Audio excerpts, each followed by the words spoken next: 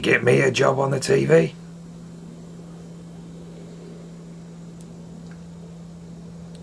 What What would you do? Well, be me. Is there anyone else you can be? What does that mean? Well, you know. Isn't me enough?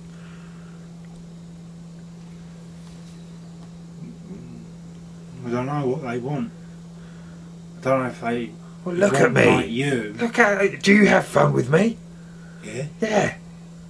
Just stick a camera in front of my face. Let the whole country have fun.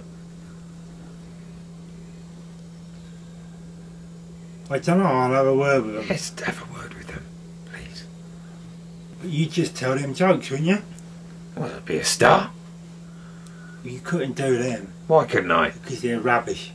Yeah, they're rubbish to you, Angelos. They're rubbish to you. If you can get away with being on that bloody show, just going, ooh, ooh, calling down some manky old bloody bird from the ceiling, Yeah, but they've asked me to do that. I didn't well, then, then, me- then they're mental. How do they get the money to make a bloody programme? That's what winds me up. They asked for it.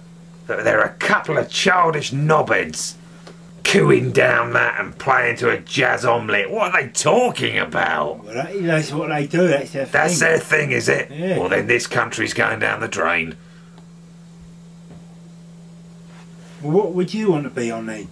Huh? What show would you want to be on? Strictly come dancing. What would you do? Dance. You can't dance. Yes, I can You dance. buggered back. I can bloody dance. You couldn't lift Lynda Bellingham, I'd, give it a bloody good try. and you'd end up in a bloody heap. Well, at least I'd have fun doing it. No, you wouldn't. Huh? You would. They wouldn't. Yeah, but my personality would shine through on Strictly Come Forsyth, Dancing. he'd start having a right go at you. Do you know, me and Bruce Forsyth, if we met, we'd be like that. No, you wouldn't. Why can't people just give me a chance?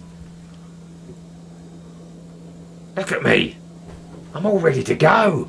I'm all ready to go. They haven't got to do anything. Give me my own TV show. Do something. Look at me. What did Wogan do? You chatted to people. Exactly. So give me a show called Gittins. What would you do? Chat to people. What would you say? I don't know. All right. What are you up to? I would come to sell my book. Have you? Yeah. Is it good? Yeah, it's like Andy McNabs. Who? Andy McNabs. Who's Andy McNabs? off the Bravo Two Zero. He's the um, SAS. Never heard of him. Um, soldier.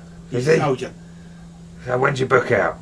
Um, next week. Oh, round of applause, everybody. There.